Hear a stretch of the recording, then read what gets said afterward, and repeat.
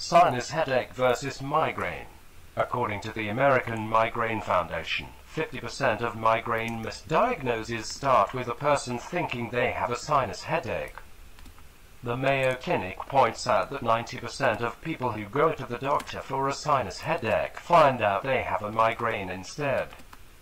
If you don't have any of the symptoms that come specifically with a sinus headache, you may be experiencing a migraine. Migraines are treated differently from sinus headaches. If you experience symptoms such as nausea, dizziness, or sensitivity to light, you're likely having a migraine and not a sinus headache. Sinuses in the face are air spaces that develop from the nasal passages and help with air humidification and mucus secretion. Inflammation of the sinuses may decrease the ability for the mucus to drain, increasing pressure within the sinuses and leading to a sinus headache. Common causes of inflammation include allergies, infections, or colds.